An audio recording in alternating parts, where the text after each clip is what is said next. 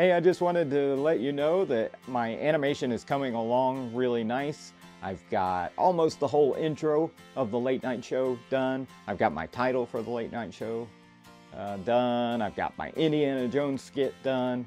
I've got a skit with some, uh, like a garage with sports cars. I don't want to give too much away about that yet, but it's got some cool sports cars in there, which I think look fantastic in 3D.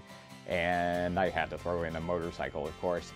And behind me, I have the co-host and the announcer for the late night show. This is Redacted. I'm still not sure what her name will be.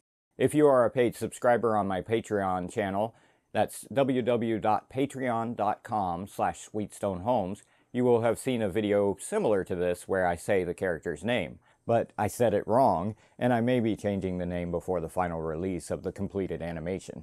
And she will be helping out my avatar on the late night show. I'm just about to start a skit, uh, making, constructing a skit with her, with that character.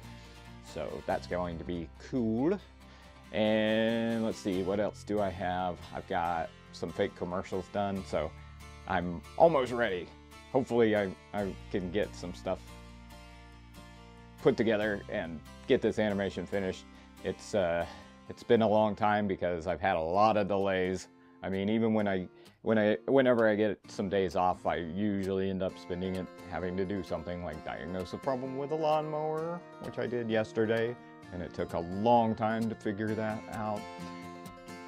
Uh, things just get, get in the way, and the animation is definitely on a low priority. I'm sorry about that, guys. I know you guys are waiting for more content, and I will hopefully have it coming your way pretty soon. Thanks for watching, and I'll see you in the next video, even if it's not the animation, but I'm hoping it will be the animation. See you guys.